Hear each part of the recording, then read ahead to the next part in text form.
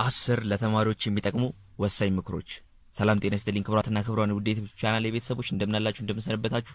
ለዚህ ዩቲዩብ ቻናል አዲሱ ናችሁ ሰዎችና እንደዚህ ቪዲዮዎችን ማግኘት የምፈልጉ ሰዎች ካላችሁ subscribe እንዲሁም የደወል ምልክቷን ብትጫኑ በየዕለቱ ጠቃሚ ጠቃሚ መረጃዎችን አደርሳችኋለሁ። ከህፃን እስከ ትልቆች ማንኛውም በማንኛውም የህይወት ሁኔታ ውስጥ የምትገኙ በማንኛውም የእድሜ ክልል ውስጥ የምትገኙ ሰዎች በሙሉ የእኔን ቻናል ብትከታተሉ እመርጣለሁ። እንግዲህ ዛሬ የምነግራችሁ ለተማሪዎች የሚጠቅሙ አስር ወሳኝ ምክሮችን ነው። እንግዲህ በትምህርታችሁ ላይ በ academic life ኣችሁ ላይ ጠቃሚ የምላቸውን አስር ጠቃሚ ምክሮች ዛሬ እለግሳችኋለሁ። እስከ ፕሮግራማችን ፍጻሜ ያሯችሁን ብትቆዩ ትጠቀሙበታላችሁ ብዬ ቪዲዮ like በማድረግ በተጀመሩት ደስ ይለኛል። ይመቻችሁ። የመጀመሪያው ነጥብ ከትንሽ መጀመር ይባላል። ይህ ማለት ምን መሰላችሁ? ከትንሽ መጀመር ብዙ ጊዜ ሰዎች በቀን ውስጥ አንድ በጣም ብዙ chapter ኦችን ለመሸፈን ይሞክራሉ። በጣም ብዙ ለማጣጣት ይሞክራሉ። ግን እንደዛ መሆን የሌለበትም። ጥናት አዲስ ከጀመርከው ድረስ አዲስ ልማድ እስከሆነ ድረስ እንደ አዲስ ነው አእምሮህ ለመቀበል የሚሞክረው እንደ አዲስ ነው። አንተም ያን ነገር ለማወቅ ጥረት የምታደርገው ማለት ነው። ስለዚህ ምን መሆን አለበት? ነገሮችን ከትንሽ መጀመር ማለት ነው። በአንዴ ትልቅ ነገር ለማሳካት አትሞክር። በአንዴ ብዙ chapter ለመሸፈን አትሞክር። በአንዴ ብዙ ነገሮችን ለመሸፈን አትሞክር። ከትንሽ ጀምር፣ ከጥቂት ጀምር። ከዛ እያሳደግከው ትሄዳለህ። ስለዚህ አእምሮህ የሚሰራው በዛ መንገድ ስለሆነ ማለት ነው። ስለዚህ ብዙ ሰዓትን ማጠናትም ጠጋቢ ስላልሆነ ቢያንስ አንድ ሀያ ደቂቃ አንብቡ። ከዛ ብሬክ እየወሰዳችሁ ብታነቡ ወሳኝ ነው እላለሁ። ወደ ሁለተኛው ነጥብ እንለፍ። የመጀመሪያው ነጥብ እንደተመቻችሁ ተስፋ አደርጋለሁ። ወደ ሁለተኛው ነጥብ ደግሞ ለመለወጥ መወሰን ይባላል። ብዙ ጊዜ ሰነፍ ተማሪዎችን ተመለክታችሁ ከሆነ ጎበዝ ተማሪ እኮ መሆን ይፈልጋሉ፣ በተማሪዎች እንዲጨበጨብላቸው ይፈልጋሉ፣ ምናምን ነገር ብዙ ነገር ይፈልጋሉ። ግን ምንም እያደረጉ አይደለም። አክሽን ለመለወጥ መወሰን አልቻሉም። ፍላጎት ብቻ ሆነ ቀረ ማለት ነው። ስለዚህ ፍላጎት ደግሞ ወሳኝ አይደለም። ነገሮችን አንድ ነገር ለማሳካት ፍላጎት ብቻውን በቂ አይደለም። ስለዚህ ፍላጎት ብቻውን በቂ እንዳልሆነ ተረድታችሁ ብዙዎቻችሁ ለመለወጥ መወሰን ከልብ የመነጨ ፍላጎት በራሳችሁ ላይ ልታሳድሩ ይገባል። ወደ ሶስተኛው ነጥብ ማለፍ እንችላለን። አሁን ሶስተኛው ነጥብ እንደምትችል ማመን አለብህ ይባላል። ይሄ ደግሞ ከምን ጋር እያያዛል መሰላችሁ?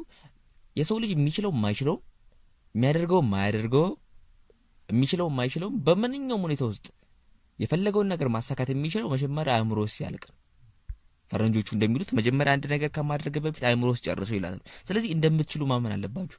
አቅሙ እንዳላችሁ ማመን መቻል አለባችሁ። ያኔ ነው ትልቅ ስኬት የሚመጣው፣ ትልቅ ደረጃ መድረስ የሚመጣው ያኔ ነው እና ብዙዎቻችሁ እንደምትችሉ ማመን መቻል አለባችሁ። ውስጣችሁ ውስጥ አቅም እንዳለ መረዳት አለባችሁ። አራተኛው ነጥብ ላይ ደርሰናል። ክቡራን ቤተሰቦች ቪዲዮ like ማድረግ አትርሱ።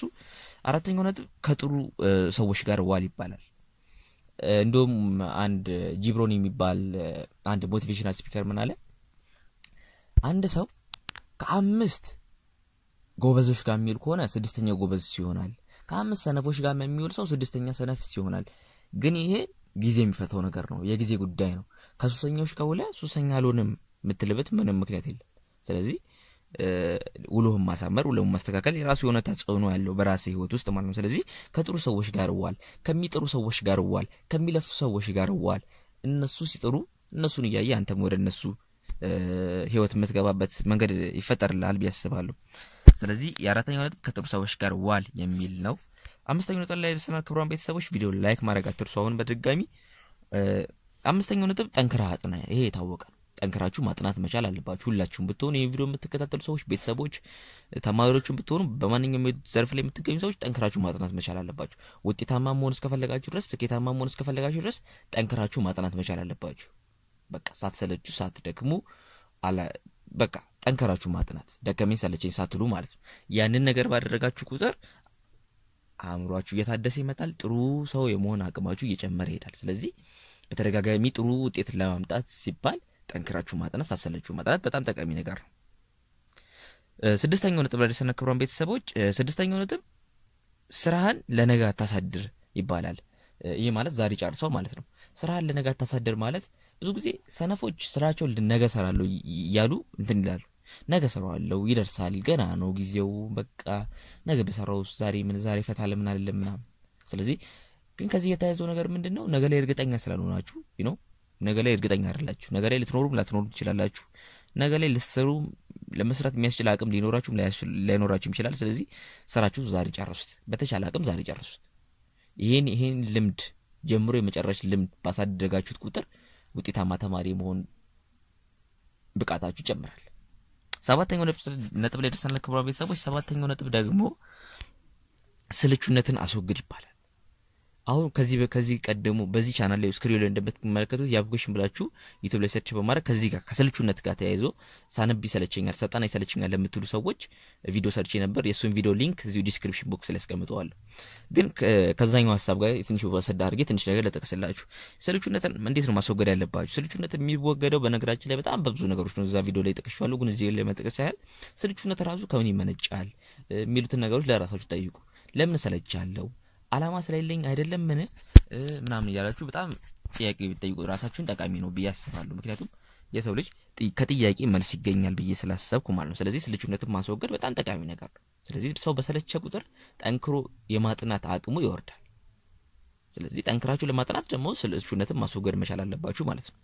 ስምንተኛው ለደርሰናል ክቡራን ቤተሰቦቼ። ስምንተኛው ነጥብ ደጋግመህ ሞክር ይባላል። ብዙዎቻችን አንዴ ሞክረን፣ ሁለቴ ሞክረን፣ ሶስቴ ሞክረን እናቆማለን። እጣ ክፍሌ አይደለም፣ በቃ ይሄ ለኔ አልተፈጠረም፣ ይሄ እኔ እዚህ ደረጃ ላይ መድረስ አልችልም፣ በቃ ሞክርኩ ሞክርኩ፣ ሁለቴ እኮ ነው ግን በጣም ብዙ ጊዜ እንደለፋ ሰው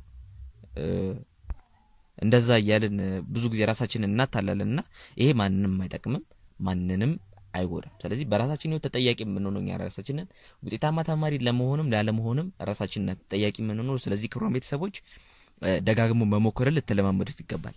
ዘጠነኛው ነጥብ ፍርሃትን አስወግድ ይባላል። አዎ ፍርሃትን አስወግድ። ይሄ የብዙ ዓለም ላይ የምትመለከቱ ሰው በሙሉ ችግር ነው ፍርሃት።